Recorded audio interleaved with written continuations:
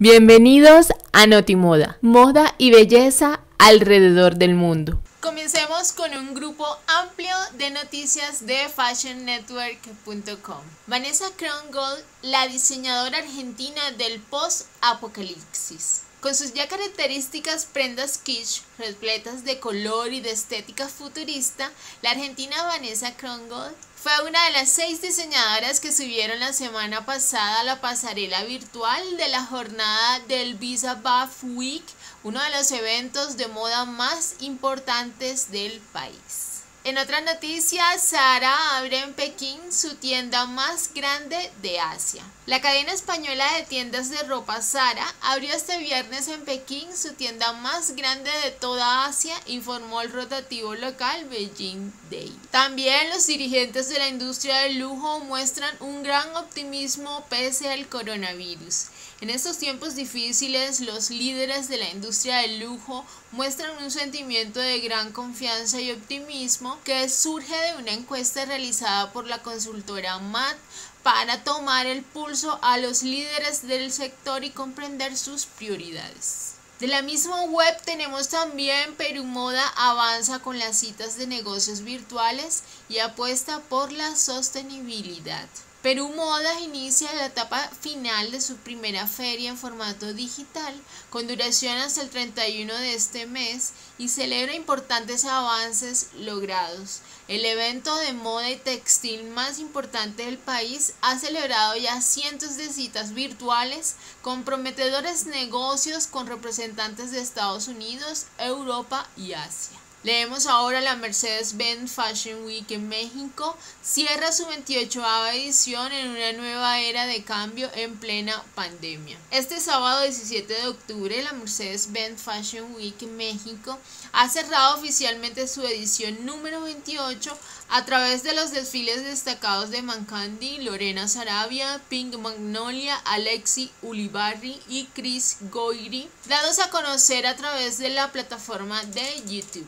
Cabe recordar que estas pasarelas fueron presentadas físicamente en días anteriores dentro del calendario con un grupo reducido de asistentes y con las medidas sanitarias necesarias para enfrentar la pandemia del coronavirus. Continuando con Fashion Network, la Fashion Week México danza entre la inspiración japonesa y la libertad en su tercera jornada. Este viernes 16 de octubre ha iniciado la tercera jornada digital de la Mercedes-Benz Fashion Week México con los videos destacados en YouTube de las diseñadoras Sandra Weil, Alejandra de Cos, Daniela Villa y Cynthia Buttenklepp. En otro titular, el BFC presenta un nuevo formato para los Fashion Awards al recompensar las mejores respuestas a la pandemia.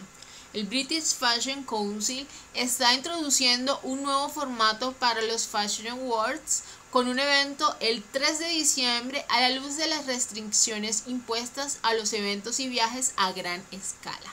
Leemos ahora Panamá Fashion Week abre el telón de su primera edición digital. Inicia la edición 2020 del Panamá Fashion Week con una apuesta académica de arte y moda.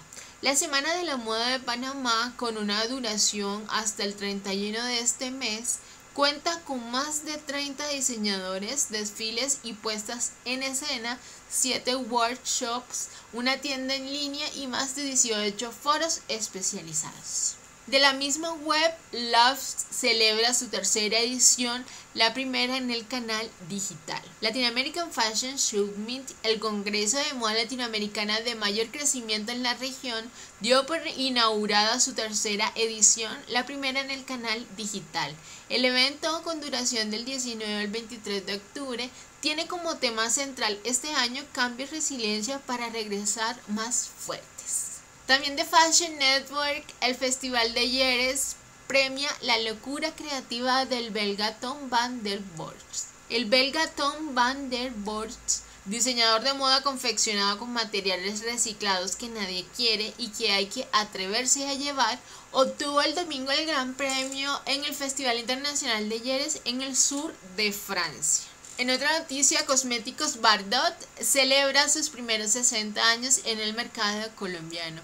Cosméticos Bardot, una de las empresas líderes en el mercado colombiano de la belleza limpia y vegana, celebra sus primeros 60 años de creación este mes. La compañía perteneciente al Fondo de Capital Teca nació en 1960 como una empresa familiar de la mano de los esmaltes y la belleza de uñas, una línea que sigue siendo de gran importancia en su portafolio. Pasamos a El Correo Argentino lanza su propio marketplace. Este llamado Correo Compras, una plataforma que funciona como vidriera virtual para que productores regionales o distribuidores oficiales de distintas marcas vendan y utilicen la capacidad logística del correo argentino. Continuamos con fashionnetwork.com Prada amplía su línea sostenible Re Nylon. La poderosa casa de moda de Milán ha ampliado significativamente su selección de Prada Re Nylon, ofreciendo Prada Porter, calzado y accesorios para hombres y mujeres, lo que subraya su compromiso con un modelo de negocio sostenible. En otro título, Farfetch se confirma como partner patrocinador del Latin American Fashion Summit este 2020. A través de un comunicado, Farfetch, la plataforma tecnológica líder para la industria de la moda de lujo, confirmó que este 2020 participará como partner patrocinador del Latin American Fashion Summit, cuya edición se llevará a cabo del 19 al 23 de octubre en formato digital. Leemos ahora Forever 21 se asocia con Aere Holdings para expandirse en Latinoamérica.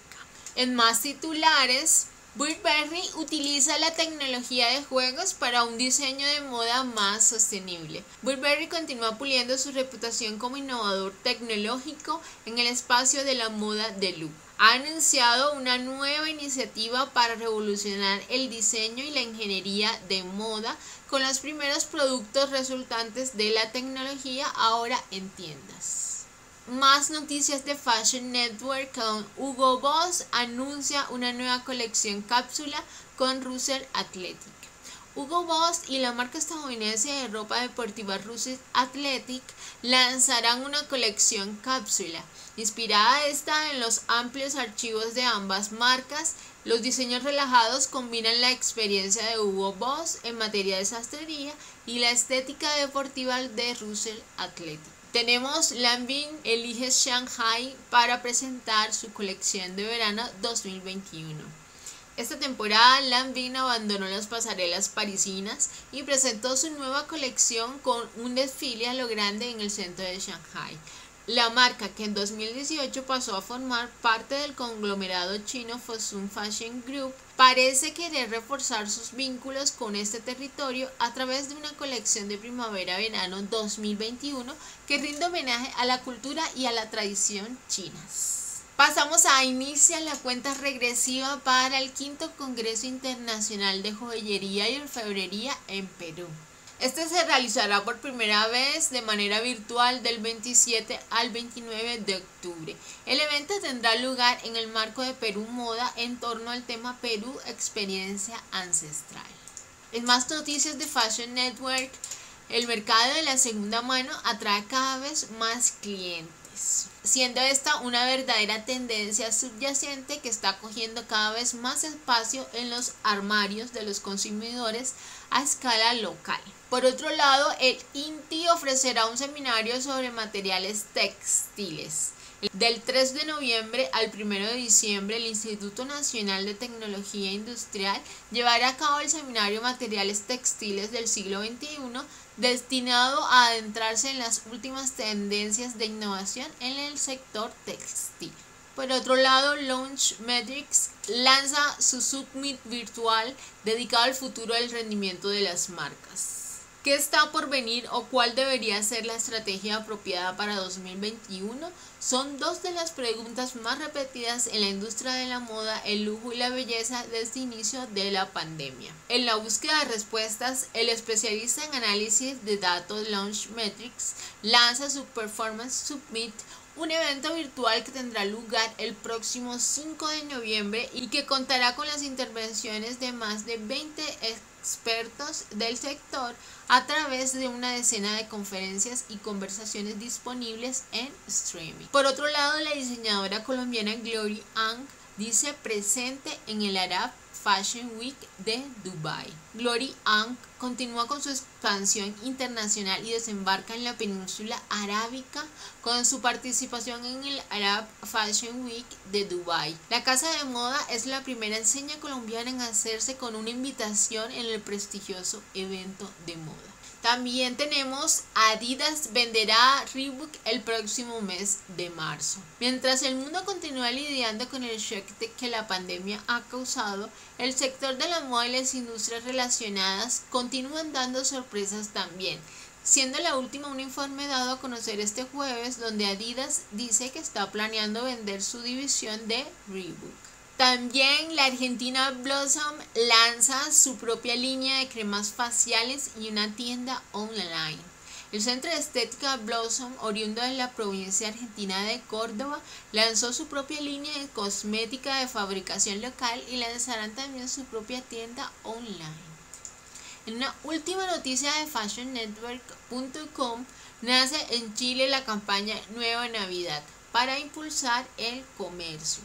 La Cámara Nacional de Comercio, Servicios y Turismo de Chile continúa en la búsqueda de nuevas estrategias para potenciar al comercio en medio de la pandemia y en línea con ello lanza la campaña Nueva Navidad. Esto como una forma de llamar a los consumidores a anticipar las compras navideñas este año. Pasamos al clarín.com con la noticia El mundo de la moda se pronuncia y milita por el voto. Marcas, creadores y modelos de Estados Unidos enrolados en la lucha por el medio ambiente y el derecho a votar apoyan al candidato demócrata. Tenemos también del espectador.com Excel Moda 2020, charlas sobre sostenibilidad y ejemplos de biodiseño para aplicar en la industria. Desde el martes y hasta este viernes 23 de octubre se realiza el Congreso Latinoamericano de Moda Excel Moda formato virtual mediante una plataforma en 3D. Por otro lado, diariolibre.com mitos sobre la belleza. Aquí los clarificamos. ¿Es cierto que es mejor limar las uñas que cortarlas? ¿Es cierto que la cantidad de pelo depende del tipo de piel? ¿Es cierto que las ojeras pueden ser genéticas pero también pueden ser generadas por la mala alimentación, mal descanso y estrés? Esta y otras preguntas se resuelven en este artículo. Pasamos a glamour.mx y las sorprendentes soluciones de belleza que te ofrecen las cerezas. Entre esas tenemos cutis joven e impecable por más tiempo. También sirven para suavizar el cabello, combaten el acné, entre otros. Y una última noticia del día con msn.com y es con las celebridades que tienen su propia marca de belleza. Estas son Ray Beauty de Selena Gómez, Fenty Beauty de Rihanna, Florence by Mills de Enola Holmes, Kylie Cosmetics entre otras. Hasta aquí las noticias de hoy. Los esperamos en nuestra siguiente entrega de noticias sobre moda y belleza. Te invitamos a conocer nuestra web www.stylepoint.club para toda la información de moda, belleza y asesoría de imagen. Y suscríbete a nuestras redes sociales para inspirarte con fotos, gráficos, videos y mucho más. StylePoint.club, un punto de encuentro entre la moda y la belleza.